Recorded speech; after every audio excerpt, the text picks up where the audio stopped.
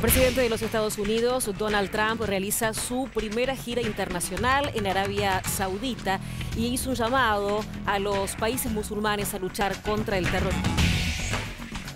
Drive them out. Drive them out of your places of worship.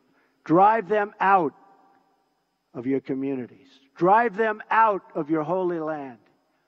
And drive them out of this earth.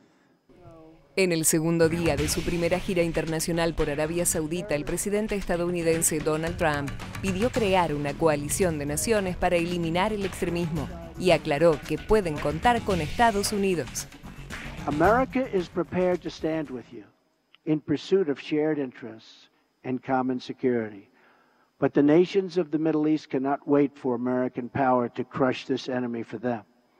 The nations of the Middle East will have to decide what kind of future they want for themselves, for their country, and frankly, for their families and for their children.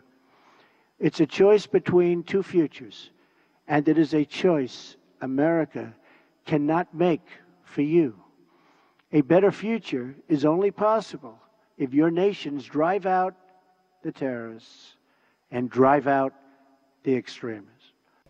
Trump hizo sus declaraciones ante 50 líderes de mayoría musulmana.